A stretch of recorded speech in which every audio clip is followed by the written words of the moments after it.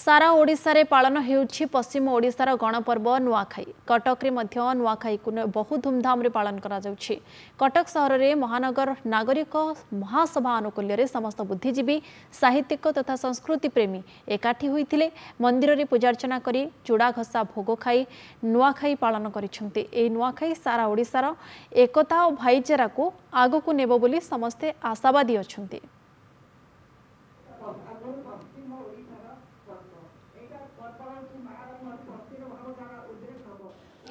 ପବିତ୍ର ନୂଆଖାଇ ଯେ କେବଳ ପଶ୍ଚିମ ଓଡ଼ିଶାରେ ପାଳିତ ହେଉଛି ତା ନୁହେଁ। ଉପକୂଳବର୍ତ୍ତୀ ଜିଲ୍ଲାଗୁଡ଼ିକରେ ମଧ୍ୟ ନୂଆଖାଇ ଏବେ ଧୁମଧାମରେ ପାଳିତ ହେଲାଣି। ବିଶେଷ କରି କଟକରେ ଯେଉଁମାନେ ବୁଦ୍ଧିଜୀବୀ ଅଛନ୍ତି ଯେଉଁମାନେ ନୂଆଖାଇକୁ ଭଲ ପାଆନ୍ତି ସେମାନେ ସମସ୍ତେ ଏକତ୍ରିତ ହୋଇଛନ୍ତି। କେମିତି କ'ଣ ନୂଆଖାଇ ପାଳୁଛନ୍ତି ସେ ସମ୍ପର୍କରେ ଆଲୋଚନା କରିବା? ସାର୍ ନୂଆଖାଇ ପ୍ରଥମତଃ ଗଣପର୍ବର ଗୁରୁତ୍ୱ କ'ଣ? ନୂଆଖାଇ ଏକ ପବିତ୍ର ପର୍ବ। ପୂର୍ବରୁ ଏ ପଶ୍ଚିମ ଓଡ଼ିଶାରେ କେବଳ ପାଳନ ହେଉଥିଲା ଏବେ ସାରା ଓଡ଼ିଶାରେ ପାଳନ ହେଉଛି। ପୂର୍ବ ପଶ୍ଚିମ ଉତ୍ତର ଦକ୍ଷିଣ ଆଉ କିଛି ବାରଣ ନାହିଁ। ଏହା ଏକ ଗଣପର୍ବ। ଆମର ପୂର୍ବତନ ମୁଖ୍ୟମନ୍ତ୍ରୀ ବିଜୁ ପଟ୍ଟନାୟକ ଯେତେବେଳେ ମୁଖ୍ୟମନ୍ତ୍ରୀ ଥିଲେ ସେ ସମୟରେ ଏହାକୁ ଗଣପର୍ବର ମାନ୍ୟତା ଦେଇ ସାରା ଓଡ଼ିଶାରେ ଏହାକୁ ଛୁଟି ଭାବେ ଘୋଷଣା କରିଥିଲେ।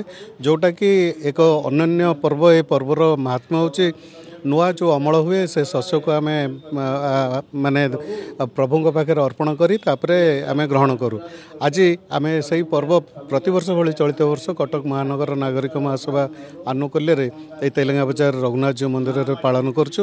ଏବଂ ଏ ପର୍ବର ଆଉ ଗୋଟେ ସବୁଠୁ ବଡ଼ ବିଶେଷତ୍ୱ ହେଉଛି ଯେତେ ଗଣ୍ଡଗୋଳ ମନାନ୍ତର ମତାନ୍ତର ଥାଉ ଏହି ଦିନ ସମସ୍ତେ ଗୁରୁଜନମାନଙ୍କୁ ପ୍ରଣାମ କରନ୍ତି ଭୂମିଷ୍ଠ ପ୍ରଣାମ କରି ନୂଆ ପୋଷାକ ପିନ୍ଧି ନୂଆ ଖାଦ୍ୟ ଖାଇ ମନମାଳିନ ଯାହା ଥାଏ ଦୂରୀଭୂତ ହୁଏ ଏଇ ଯେଉଁ ଭାଇଚାରାର ଯେଉଁ ବାର୍ତ୍ତା ଦେଉଛି ଏ ଭାଇଚାରାର ସହର କଟକ ସହର ଆକୁ ବୁ- ପ୍ର- ପ୍ରତିବର୍ଷ ଭଳି ଚଳିତ ବର୍ଷ ମଧ୍ୟ ପାଳନ କରୁଛି ଏଇ ଦିନରେ ଆମେ ସମସ୍ତେ ଏକାଠି ରହିବା ପରସ୍ପରକୁ ଭଲ ପାଇବା ନୂଆ ଖାଇବା ତ ସେ ଆଉ ଗୋଟେ ପରମ୍ପରା କେତେ ଉଜ୍ଜୀବିତ ହେଉଛି ପ୍ରକୃତରେ ଗୋଟେ ସଂସ୍କୃତି ଗୋଟେ ଜାତିକି ଏକାଠି କରି ରଖିବାରେ ବହନ ଭୂ- ଭୂମିକା ଗ୍ରହଣ କରିଥାଏ।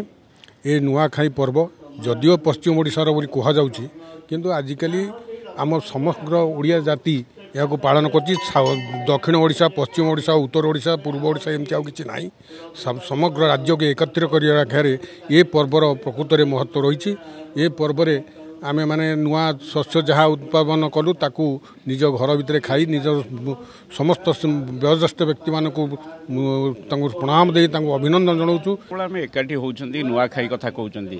କେଉଁଠି ନା କେଉଁଠି ପୁରା ଓଡ଼ିଶାର ମନୋଭାବ ମନରେ ଆସୁଛି।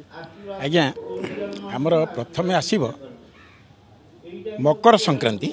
ମକର ସଂକ୍ରାନ୍ତି ଦିନ ଆମେ ମକର ଚାଉଳ ପୂଜା କରିକି ଯେମିତି ଠାକୁରଙ୍କୁ ଅର୍ପଣ କରିବା ପରେ ଆମେ ଭାଇଚାରାର ଯେ ପରମ୍ପରାକୁ ବ- ଉଜ୍ଜୀବିତ କରୁ ମକର ସବୁ ଆମର ବର୍ଷ ଆରମ୍ଭ ହୋଇଯାଏ ଏବଂ ଏଇଠି ତାପରେ ପରେ ରଜ ପର୍ବ। ରଜ ପର୍ବଟା ମଧ୍ୟ ସେମିତି ଗୋଟେ ଭାଇଚାରାର ପର୍ବ। ସେଠି ଅବଶ୍ୟ ବେଶୀ ଝିଅମାନଙ୍କର ପାଇଁ ସେଇଟା ପ୍ରଯୁଜ୍ୟ। ଆଉ ଏଇ ଯେଉଁ ପର୍ବ ଆମର ଆଜି ପାଳନ ହେଉଛି ଏଇଟା ଯେ ଖାଲି କେବଳ ଇଏ ପଶ୍ଚିମ ଓଡ଼ିଶାରେ ପାଳନ ହେଉଥିଲା। ପଶ୍ଚିମ ଓଡ଼ିଶାରେ ପାଳନ ହେବାର କାରଣ ହେଉଛି ଏତିକି ବେଳେ ଆମର ସେତେବେଳେ ଗୋଟେ ଦାଳୁଆ ଧାନ ବୋଲି ଗୋଟେ କୁହେ ପ୍ରଥମ ଧାନ। ଏଇ ଧାନଟାକୁ ଆମେ ଠାକୁରଙ୍କୁ ଅର୍ପଣ କଲା ପରେ ଆମେ ତାକୁ ଭକ୍ଷଣ କରୁ।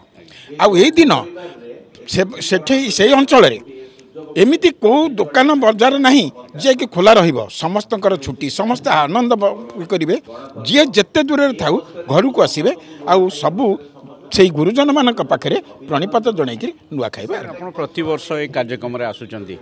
ଯେତେବେଳେ ଚୁଡ଼ା ଘଷା ଟିକେ ଆମେ ଖାଉଛନ୍ତି ନୂଆ ଖାଇ ନୂଆ ଖାଇବା କଥା କହୁଛନ୍ତି ଇଏ ଗୋଟେ କେମିତିଆ ମନ?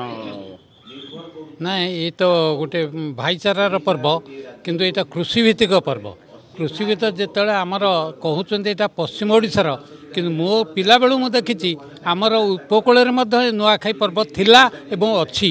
କିନ୍ତୁ ପଶ୍ଚିମ ଓଡ଼ିଶାରେ ତାକୁ ସେ ଗଣପର୍ବ ହିସାବରେ ଧରନ୍ତି ଏବଂ ପ୍ରତି ପରିବାରର ସମସ୍ତ ପିଲାଠୁ ଆରମ୍ଭ କରି ବୁଢ଼ା ପର୍ଯ୍ୟନ୍ତ ସମସ୍ତ ପରିବାର ଯିଏ ବାହାରେ ଥାନ୍ତି ସେମାନେ ଆସନ୍ତି ଏବଂ ନିଜେ ନୂଆ ଲୁଗାପଟା ପିନ୍ଧି ଏଇଟାକୁ ପାଳନ କରନ୍ତି। ଭଲ ଲାଗୁଛି ନୂଆଖାଇ ଅବସରରେ ଆମେ ଯେତିକି ବି ଆମର ସକ୍ଷମତା ଏପଟ ଅଞ୍ଚଳରେ ଆମେ କରୁଛୁ। ଏଇ ଯେଉଁ ଆମେ ଏକାଠି ହେଉଛୁ ସମସ୍ତେ ଦୌଡ଼ିକିରି ଆସୁ ଯେ ଟିକେ ମିଶିବୁ ଟିକେ ପରସ୍ପର ସହିତ ସୁଖ ଦୁଃଖ ବାଣ୍ଟିବୁ ଟିକେ ସେଇ ଚୂଡ଼ା ଘଷା ଟିକେ ଭୋଗ ଟିକେ ହଉ ପଛେ ସମସ୍ତେ ସମସ୍ତଙ୍କ ସହିତ ବାଣ୍ଟିକିରି ଖାଇବୁ। ଏ ପରମ୍ପରା ବଞ୍ଚିକି ରହିବ ଆହୁରି ବଢ଼ିବ।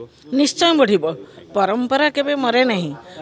ପରମ୍ପରାକୁ ଆମେ ଯେତେ ଉଜ୍ଜୀବିତ କରିବାକୁ ଚାହିଁବା ଆମେ ବୁଦ୍ଧିଜୀବୀ ମହଲରେ ଯେତେ ତାକୁ ପ୍ରଚାରିତ ପ୍ରସାରିତ କରିବାକୁ ଚାହିଁବା ଆମ ପରପିଢ଼ି ତା ବିଷୟରେ ଯେତେ ଜାଣିବେ ସେଇ ଅନୁଯାୟୀ ତାକୁ ନିଶ୍ଚୟ ପାଳନ କରିବେ ଏଥିରେ ସନ୍ଦେହ ନାହିଁ। କେବଳ ଗୋଟିଏ ଜାଗା ନୁହେଁ କଟକ ଭୁବନେଶ୍ୱର ଏବଂ ଅନ୍ୟ ସ୍ଥାନମାନଙ୍କରେ ମଧ୍ୟ ଉପକୂଳବର୍ତ୍ତୀ ଜିଲ୍ଲାଗୁଡ଼ିକରେ ନୂଆଖାଇ ପାଳନ ହେଉଛି।